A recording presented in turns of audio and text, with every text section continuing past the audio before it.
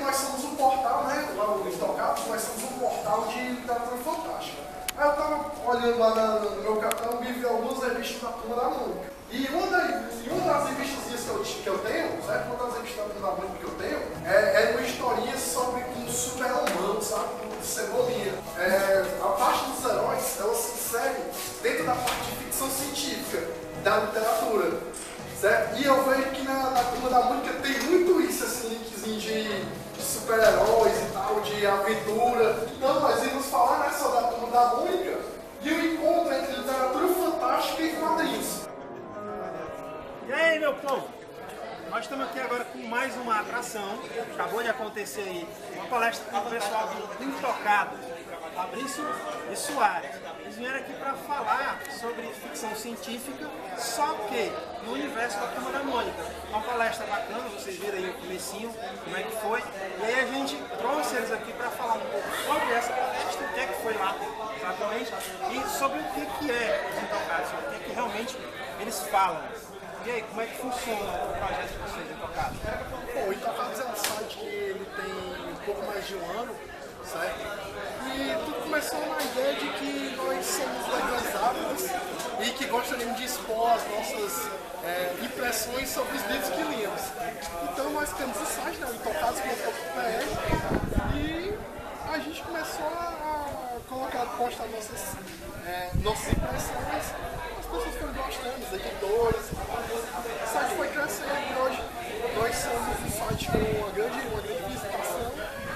É, participamos de, de- de- de palestras, como foi hoje aqui no dia do, do quadrinho nacional, convite do Eduardo, convite do Eduardo, aqui na Gibiteca. E é isso, nós somos um grupo de, de leitores e a gente quer tentar divulgar ao máximo o nosso hobby, que é a literatura. São quantas pessoas atualmente? Espalhados Dois nossos, gente que escreve resenhas no site. E a gente tem espalhado em vários colaboradores que ajudam na construção do site. né? Ah, aí, mas aí vocês fazem o quê? né? Assim, Vocês fazem a leitura de um livro e colocam uma resenha lá?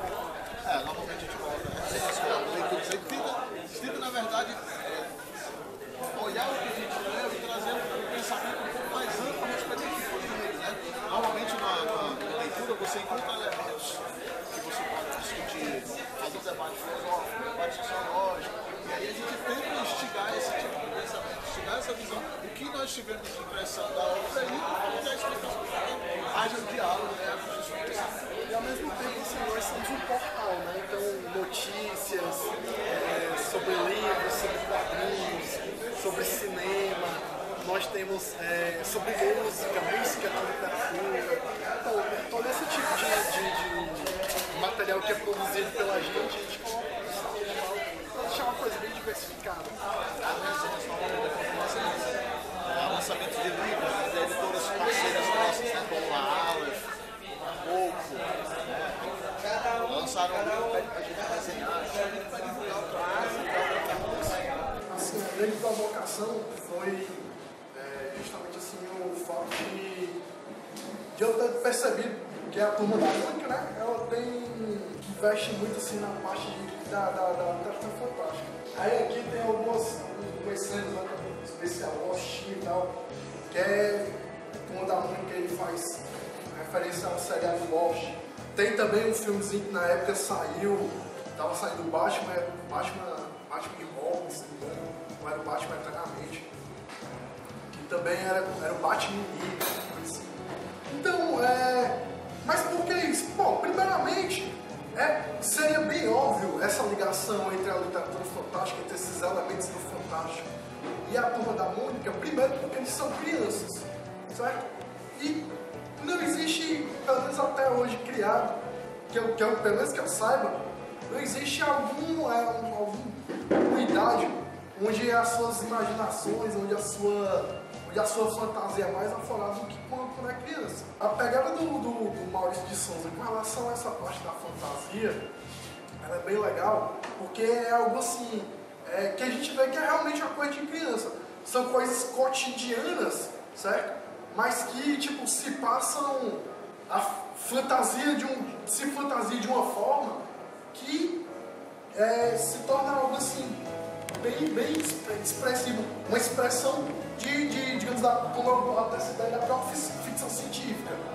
Eu lembro que tem um, um quadrinho, uma história, e que tem, aquele, tem um meninozinho que é o Dudu, certo? E ele não gosta de comer. Aí a mãe dele estava falando, é, falava uma vez né, sobre o Dudu, ah, você tem que comer porque senão o vento do sul vai lhe carregar. Aí ele, não, não sei o que, eu não vou comer, eu não gosto de comer, não sei. Aí, aí parece que ele foi, dormiu, aí ele sonhou que o vento do sul carregava ele, e ele ia voando para outra parte do mundo. Aí isso aí já, já faz uma referência, ok, ao Volta ao Mundo de 80 Dias, do Júlio Verne, que é um dos clássicos da ficção científica.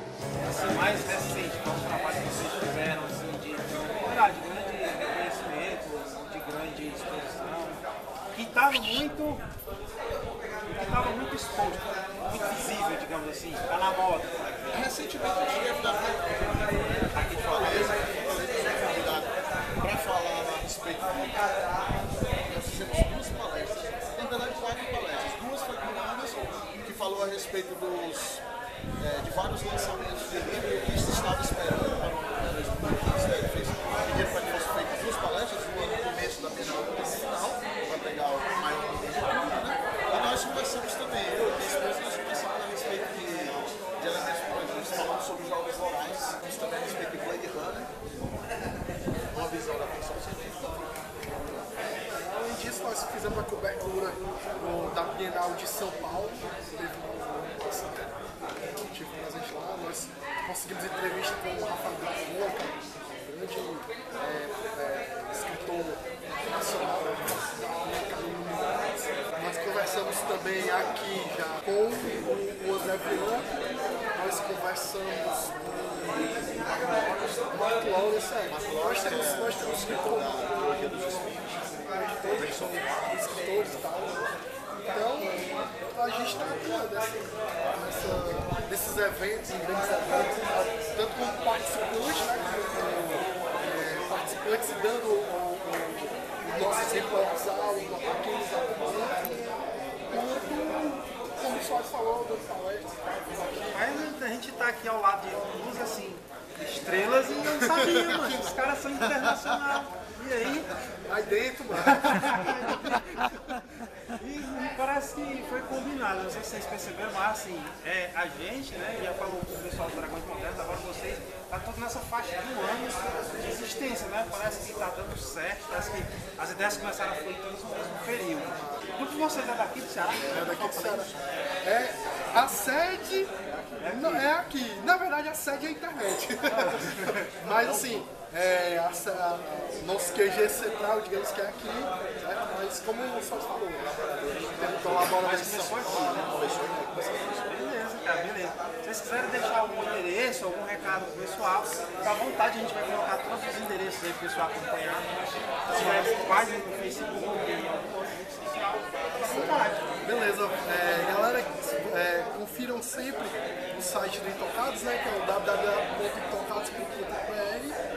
É, confiram também nossa página no Facebook, é facebook.com.br intocados, tem diversos sorteios, é, diversas é, notas de lançamento e tal. É, se você tem Instagram e Twitter, é, nos acompanhe também, arroba intocados em ambos. Recentemente, recentemente nós sorteamos uma edição do New Gamer, né? É aquele Art of New Gamer autografado.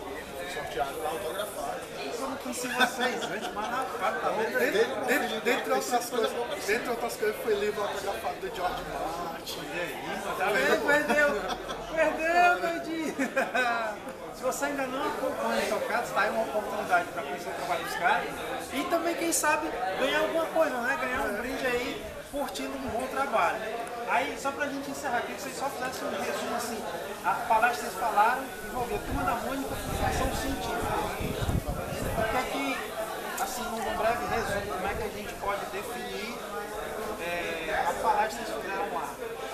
É o seguinte, é, a turma da Mônica, de início é o quê? A turma da Mônica é um, um turma de crianças. Como ser mais imaginativo do que uma criança? Certo? Então, é difícil encontrar. O Maurício de Souza ele aborda muito essa parte da imaginação das crianças. Dentro dessa imaginação, ele constrói as aventuras delas e essas aventuras elas contêm vários elementos de ficção científica, fantasia é, em geral, literatura fantástica em geral. Não é difícil de a gente ver nas, nas histórias de, da Turma da Mônica eles fugindo de aliens ou então tentando é, derrotar reis fictícios de, de, de castelos é, fictícios também e tal. Certo? Então, é, tem muito essa parte da literatura fantástica e foi isso que nós queríamos fazer. Ver como que a literatura fantástica se alia aos quadrinhos e nós pegamos como exemplo a Turma da Mônica. Foi muito bom. Bom, mas eu acho que é só isso. Eu só tenho que agradecer a vocês a oportunidade de a gente conhecer um pouco mais com vocês, tá? procurar conhecer mais do trabalho do pessoal, acompanhar, negado. Tá bom? Valeu. Valeu, valeu, fica aí, galera, fica aí que tem mais coisa daqui a pouco. Aí dentro! Aí dentro, negado, aí dentro.